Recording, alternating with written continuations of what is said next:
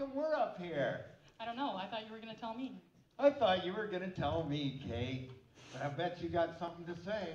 We have a very special speaker. We do. I'd like to invite here. Do you want to? Do you want to stand up here? Yeah. I'd like to invite our special speaker up to the front here now with us. Everybody give a round of applause.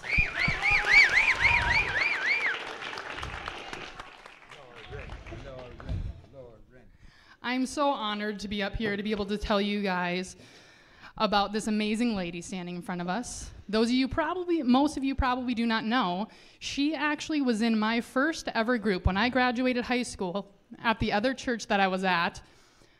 I got to have this girl in my youth group, what? and she was the craziest person I've ever met. But she was so fun and so wild. And it has been such an honor to be able to watch her grow in her faith over the last five years of me knowing her. She's a completely different person now. She's still crazy. Don't don't worry. She's still got that part. But she has grown immensely, and today she's going to be sharing her testimony with you guys and getting confirmed. So it is a very exciting day for her. And I'm going to let Ernie do a little introduction. Oh, my word. I got to get down here with Laura. You see, Lauryn's my buddy, she's my pal. I love this girl right here and I have from the very start. She came in as a freshie. You all know what a freshie is? She came in as a freshie. She was about this tall, didn't say many words, and giggled a lot. Right? She'd sit there, right there on that chair with her friend that she brought, and they would just kind of giggle. And then then she'd look at her cell phone. I go, now, Lauryn, we don't, don't do the cell phone thing like this. And, and she kept coming back and kept coming back. And then I'd be in touch with you, and we would, we would talk a little bit, and then you'd sometimes text me. And here's the deal here's the deal about this girl. All I asked when I helped, started helping with the senior high, I said, What I want you to do, and Mitch, you can say this verbatim I want you to connect to God. Because the closer you get to Him, the closer you're going to know who you are. And I said, then I want you to connect to other people. Okay? This girl took all of that serious, and I've watched her from her freshman year until now. Get a hold of the hem of the garment of God. Along for the ride, but more than that, she stepped into leadership and she has helped a lot of people know God better just because of her life and her acceptance of them. You took me serious on that, and you're one, you're one of the ones that you've been so special. Just and you've come to camp with us, and I've watched your faith grow, girl. I've learned stuff from you, and I just want you to know how sincerely and deeply proud I'm so proud of you. And I can't wait to see what God has put on your heart. So, ladies and gentlemen, she, she has a whole row of friends over here who have come here. That's, that's Lauryn. So let's just start softly. Lauryn, Lauryn, okay. Lauryn, Lauryn. Take it away, girl. It's all yours. You, you can have oh, this. Oh, what? oh, you've right got here. that. So let's give it up for Lauryn, all right? okay. Hello, everyone. My name is Lauryn Caster. I'm a senior at Century High School, and today I'm going to be sharing a few ways that God's been working in my life lately. One of the biggest ways I've noticed God working in my life has been through one of my passions, swimming. My faith has played a significant role in my athletic career in swimming, giving me a strength and a sense of calmness before each race. I've come to believe God's presence is with me in the pool and during dryland training. He has given me the strength to overcome physical obstacles such as the shoulder injury I've been dealing with. I'm still dealing with thoracic outlet syndrome, and it has become super challenging to perform at a healthy level. But with God's strength and guidance, I can keep my eyes focused on Him and not worry about the setbacks the injury gives me. Not only does God's presence strengthen me, but it quiets my nerves when the pressure is on. The words of Philippians 4:13 connect deeply within me, reminding me that through Christ's strength, I can surpass challenges that come my way, whether it be an injury, the mental hurdles of training, or a competition. Another way that God's been working through my life is through Bible camp.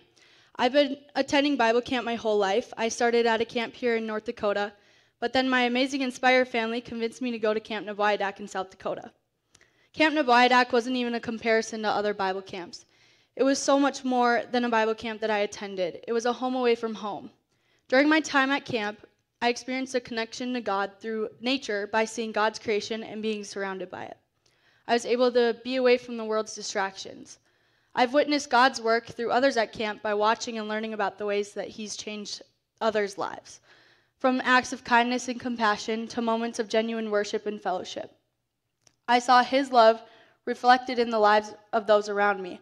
It was a powerful reminder that God's presence is not confined to the wilderness that was around me, but it can be found in a community of believers as well. While at camp, I never felt the need to be or act a certain way. I could always be myself. I was crazy and energetic all week long. For example, we were playing capture the flag, and I was given a bandana, so obviously I was going to wear it like an idiot and cover my whole face with it. And um, I was really determined to win this game, so I needed a strat so they wouldn't know what team I was on. But as you all know, uh, I don't do well running in the dark. And next thing you know, I was on the gravel with a bleeding knee and face. I ran into the tree. uh, yeah, Kate, and then Kate like pulled out her phone and started taking pictures and just laughed at me. Then Aspen just continued to stand there and just didn't say anything.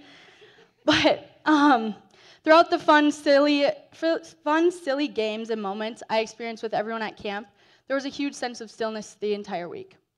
Camp guided me to understand and feel this verse truly Be still and know that I am God. I will be exalted among the nations, and I will be exalted in the earth. Psalms 46:10. These experiences and the opportunities I was given to grow my faith reinforced my trust in God's plan. God is still working in my life, and I will continue to trust Him, but not all the time is it easy. I encountered one of the biggest challenges in my life in just the past two months. But going through this only strengthened my faith. One of my biggest challenges was saying goodbye to my best friend, Madison. Okay, I get it. Maddie has been a part of my life since freshman year, but it feels like I've known her my entire life. We both swam and attended school together and have been inseparable since the day we met. Until one day, we were unexpectedly torn apart. Just in the last two months, God has tested me in many ways. Most ways were completely unexpected. Around December, my best friend went through a hard mental battle and tried to end her life.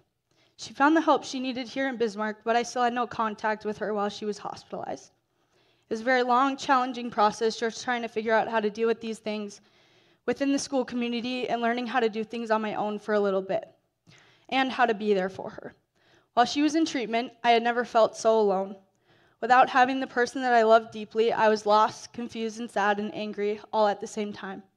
Without this, um, I asked God why, and I prayed and prayed to give strength to not only myself, but to my best friend as we were both navigating through this new normal. After a couple of weeks went by, I got the news that she was discharged from the hospital, but within the same phone call, my heart was completely shattered when I um, learned that she was le- leaving and moving to Maryland that same day, and I had to say goodbye to her at the airport. From endless days of being together to not graduating with each other or finishing our club swimming career together, having our last prom together, and all of the big things we had planned, we had to continue to trust God's plan and understanding His ways are only to prosper us and lead us in the right direction. Every day I miss my best friend more and more, but as time goes by, we get closer and closer to seeing each other again. And it's giving us this huge sense of hope. We will both be attending Grand Canyon University together, and we'll be together once the school year ends. But for now, I keep my faith strong and give it to God. My best friend is now doing better mentally physically, and emotionally. Maddie has finished school online and has been working on getting better, and I have been growing my faith and getting used to this new normal without her. Without leaning on God's faithfulness, we both wouldn't be where we are today. I still have moments of sadness and loneliness, but in these moments, I have find comfort in scriptures like Isaiah 41:10, which reminds me that God is always with me, upholding me with his righteous right hand. Through these trials, I've learned to trust in him recognizing that His ways are higher than mine and that His timing is always perfect. I know God is not done working in both of our lives and through this process, but this challenge has made me appreciate every small moment I have with the people and the love I've been surrounded by. These trials have pushed me to pray more, ask more questions, and fully give my life to God.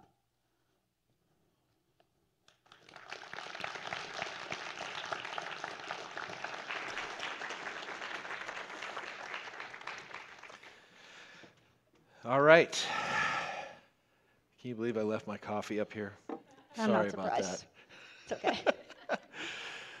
All right, Lauryn, I'm going to have you go ahead and kneel. And uh, as she does that, I'm going to invite first uh, family that have come to come and gather around her. And once they've done that, then I'm going to invite any other friends that would like to also come up and lay hands on Lauryn. What we are doing now is Lauryn is, has started with her story and is confessing her faith.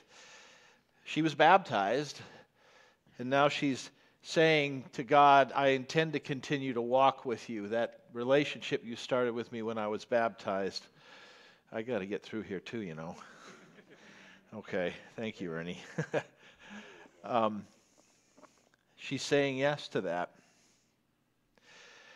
The prayer that we're doing now goes back over 2,000 years.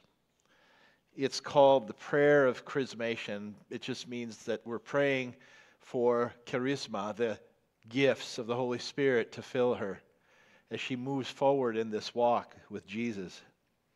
And so Lauryn joins not just the believers here in, in outwardly confessing her faith, she believes she joins believers all throughout history when she does this. Lauryn, you have made a public profession of your faith. And I do want to stress the word public. Lauryn, do you intend to continue in the covenant that God made with you when you were baptized to live among God's faithful people, to hear his word and live by it, to share in his supper, Holy Communion, to proclaim the good news of God in Jesus Christ through your words and through your actions and how you love people, to serve people following the example of the Lord Jesus, and to strive for the justice and peace that his kingdom will bring in its fullness, even now? If so, answer, I do, and I ask God to help and guide me. I do, and I ask God to help and guide me. Father in heaven, for Jesus' sake, stir up in Lauryn the gift of your Holy Spirit. Confirm her faith, guide her life, empower her in her serving and as she seeks your calling for her life. Give her patience in suffering, as you already clearly have, and bring her to everlasting life. In the name of the Father, the Son, and the Holy Spirit. Amen. At this time, we're going to invite Lauryn to go to the baptismal font. When we baptize children here, I dip my finger in the water and make the sign of the cross as a sign of God's covenant. And what our confirmation students do, and what Lauryn is doing, is completing the circle now by dipping her own finger in the water on her own choice and saying yes to Jesus the rest of her life. And when she does this, by the way, I don't know if you're guests here, we make a really big deal of this, okay? So I expect you to live up to that, okay, Lauryn? Say yes. Congratulations, Lauryn Caster. Woo!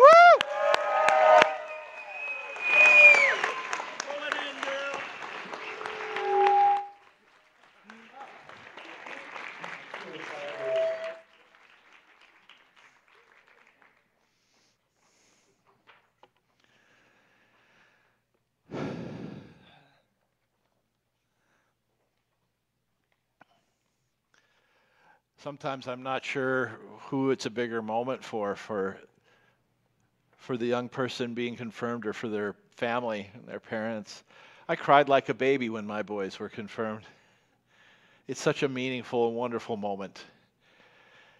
We should never underestimate the power that comes upon us through the Holy Spirit when we are willing to stand up and confess Jesus in front of the world. People are often scared when that moment comes and they're not sure what to do or how to say it, but they just push through, and God provides immense assurance and power for the moment. And um, He just works in such amazing ways. Your story about working through difficulties in sports and your physical challenges that go with that. And you can't be in sports at any kind of high level without encountering that at some point. Reminds me of just, I see it almost as a metaphor for our life in Christ in this time, on this earth, before we die and are with Christ in paradise, and until that day that He returns in the great resurrection of all things and makes all things new. But right now, we live in this life that's full of those ups and downs and challenges. Um, she mentioned camp. Uh, back in the day, when I was a younger man, and Ernie was a little bit younger man, uh, we didn't do camp. Ernie and I, and several actually of our people here, um, including some of our staff, we, we didn't do camp. We did something called mission trips. And uh, I remember one particular mission trip we did. It was called the Magical Mystery Tour. What that meant was we piled about 25 kids into a couple of vans, and they had no idea for the next eight days where we were going. Thus, the mystery. And old people recognize the name. It's an old Beatles tune, the Magical Mystery Tour or album or whatever. So, what happens is the kids would get a letter from us every day with clues as to where we were going and what we were going to be doing that day. And they never knew day to day what was, what was going on. Well, towards the end of that mission trip, and we were mostly in South Dakota actually, um, towards the end of that mission trip, uh, I, I believe it was this one we gathered uh, together, and one of the students at the time approached me. And he said, I'd like to do a little team building, a little bonding with everybody tonight when we gather as a group. And I said, Really? Okay, what did you have in mind? And he said, I would like you to give us, like, get about 10 of us together and do like a quiz and the winners get prizes. And the last place person, the person who does the worst on the quiz, you're going to shave their head. You remember this? Yeah. But here's the, here's the catch the person who had the idea was Tim Pesky. and he said, I want you to give me the hardest questions, and at the end, I want you to shave my head. But I don't want you to tell anybody else.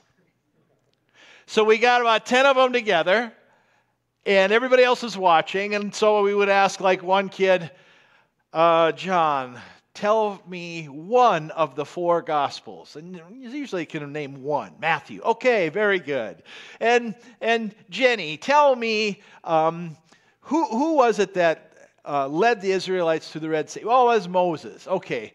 And then I would look at Tim and I'd say, Tim, tell me the third king of the second dynasty who did such and such and such and such and what year it was. And he, and he, he would play it up. He'd be like, What? Why did I get that question? You know?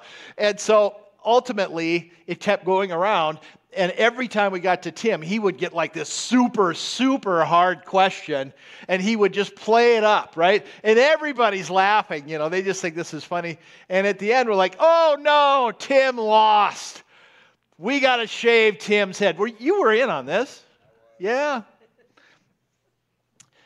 So here's the, here's the interesting part of the story. So we're, we're, we're team building, we're bonding together, you know, and, and having fun with this and we sit Tim in the middle of the circle, and everybody's gathered around, and we got a clippers. I don't know why we had one, but we had one. And, uh, and we began to shave his head. He had a fair amount of hair. And, um, and we shaved every hair off that head. It wasn't like Mr. Clean Bald, but, but it was nearly that. And, you know, I loved him, but I, he was not better looking as a result of that. well, he's a good looking guy, but that didn't help him. And I say that because a lot of us, we just don't look better when you do that, okay? And so we thought that was the end of it, but it wasn't. There was one guy in the group. I'm not going to say his full name, but his first name was Joe. Joe lost his mind. He lost his mind. As we started to, in strips, shave the hair off of Tim, Joe started to turn beet red. And he's like, What are you doing? How can you do that? You shouldn't be doing that. And then another strip. And he's like, What are you doing? And at the end, he is just beet red and he's starting to cry. He cannot believe that we are doing this to Tim. He's just losing his mind. So it's like, oh my gosh, you know what? Um, everybody go get a drink or something. Joe, stay here with me and Tim and Ernie. And so they do, and, and we're like, we got to let Joe in on this, or he's, he's going to like, he's going to, his head's going to explode. So we sit Joe down with like, Joe, Joe, Joe, Joe. I know this looks like this is disturbing to you, but it was actually all part of a plan just to have fun and to do a little team building. Did Joe believe us? Nope. He did not believe me. He got even more angry. And so it's like, okay, ask Tim. Ask Tim. And Tim's like, yeah, dude, it was like my idea. It was like my idea to do it. Joe would not believe Tim. He was so worked up that he wouldn't believe the truth even when it was told directly to him about why this had happened.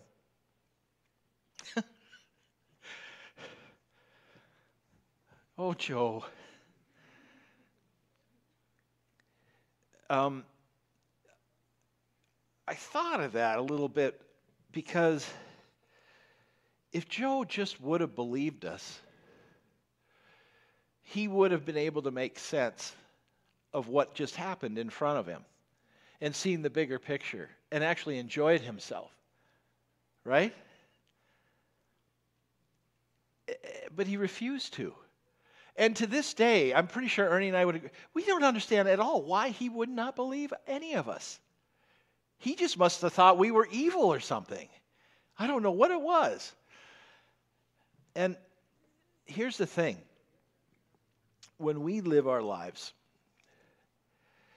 whether you're a really young, young person in here today or you're Lauryn's age, and by the time you get to be Lauryn's age, you will have already experienced some ups and downs in life. You will have experienced disappointments, failures, betrayals, um, maybe even tragedies of some sort. You will probably have lost somebody to death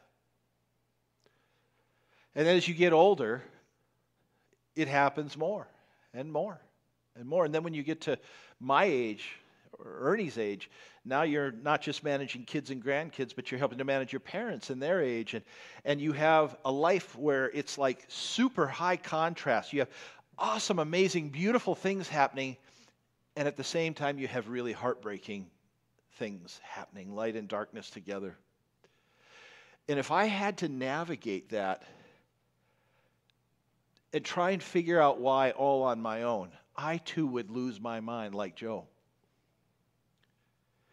But unlike Joe, I've chosen, and Lauryn tonight has chosen, to believe the one who has said, hey, sometimes in life things are going to happen that you don't see coming and you might not even understand. And in those moments when you don't understand my mind, God says, trust my heart. Wouldn't you agree with me that none of us have the capacity to know God's mind? No. I look at my little puppy dog. It'd be like me trying to teach my puppy dog the internet. She's pretty smart for a dog, but that ain't happening. You know what I'm saying? We can't know. God, says, My ways are so much higher. And there are going to be times when things happen and we're not going to understand why. But I've learned, And Lauryn tonight is confessing that she's learned that no matter what life throws at us, I trust the one who gives that life. And I trust the one who knows. And I trust his heart again, even when I don't understand his mind. That sounds like a neat little saying, but here's what I'm going to tell you. And I'm not the oldest person in the room, but I'm getting there. I'm 57. Ernie's 98. And, uh, yeah, okay. Um, ask an older person in here who has walked with Jesus as long as we have. That's, that phrase is so true, you guys. Trust his heart when you don't understand, and he'll get you through. And you won't have to lose your mind. You'll have peace in the turbulence. You'll have peace. Ernie and I on Saturday buried a 74 year old woman, two year battle with cancer. And when we met, went to meet with her several times as she was dying, she had absolute and utter peace because she believed Jesus. She believed his promises. She believed that the one who rose from the dead can be trusted. And thus she believed that when that moment came, when her body gives its last breath, her soul would meet the Lord. And um, I want that for all of us.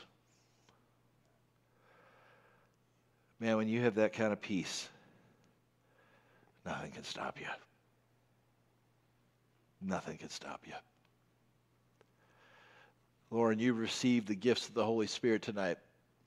You, maybe you didn't feel it necessarily, maybe you did, I don't know. It doesn't matter. It's a promise. The Spirit has filled you. And some of those gifts may become apparent to you right away. Maybe you're already exercising it, but I promise you there are some gifts that are now planted as seeds that are going to emerge later. They will. And you'll even be surprised, perhaps, by what they are. But that same Spirit that gives you gifts is living in you and living in all of us who confess with our mouths and believe in our hearts that Jesus is Lord. And that same Spirit keeps us and gives us, as the Bible says, the peace that passes all understanding, no matter what happens. Peace be still. Isn't that what the song said? Be still and know I am God. When we trust the one who is the source of life, we don't need to fear anything else, not even the moment of death. With him, nothing is lost. Amen? And there's only everything to be gained. Let's pray. Father in heaven, what a privilege it is to see Lauryn grow. And it is, it's just an absolute privilege and honor. And I'm always amazed at what you can do to somebody who's just willing to turn to you and say, Yes, I want you, Lord. I need you to save me, and I want, I want my life to be yours. Take it and use it as you want. And what an amazing thing it is to see somebody actually find who they are the moment they give themselves back to you. so awesome. So awesome. As we conclude tonight with worship, we give all of who we are to you. And we know that in the ups and downs, we just need to believe you no matter what happens. And all will be well. We pray this in the name of Jesus, the only unique Son of God, of whom there is no one else like him. Keep us mindful of that as we move into Holy Week next week. Good Friday. And then the earth shaking event of Easter. Fill our hearts tonight. In Jesus' name, all God's people said.